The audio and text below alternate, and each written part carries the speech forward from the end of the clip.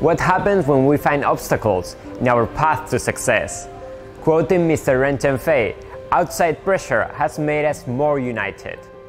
But let's listen from Huawei employees how they have transformed this outside pressure into a success driver.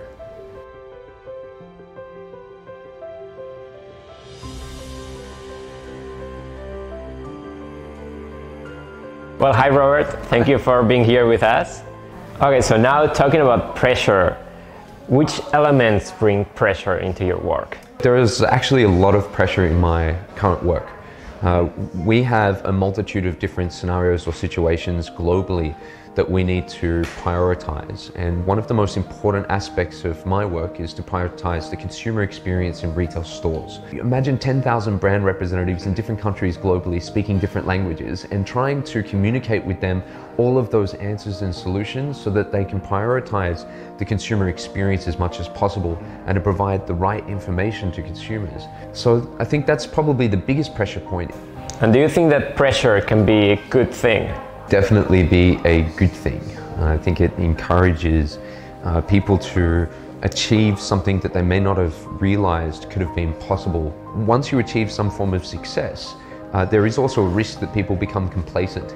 So it's really, really important that you continue to maintain a level of pressure that, that supports growth, that supports uh, transformation, that supports continued focus on, on results.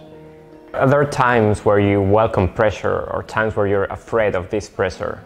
I think most people are very, very, uh, especially in Huawei, there's a culture of embracing pressure uh, and driving towards results quickly at high speed. In Huawei, if you're able to achieve a, a real business result, there's a huge amount of recognition and reward at the end of that result once it's achieved. So th there's a, a, very strong culture that, that uh, encourages and embraces pressure. Also, uh, the retail industry recently has gone through a lot of pressure these years. Do you think this has created new opportunities? During that pandemic period, a lot of our retail teams globally, at a regional level and at a country level, uh, identified that we needed to think outside the square to drive transformation and to maintain our vision of bringing a, a digital, intelligent, connected life to consumers all around the planet.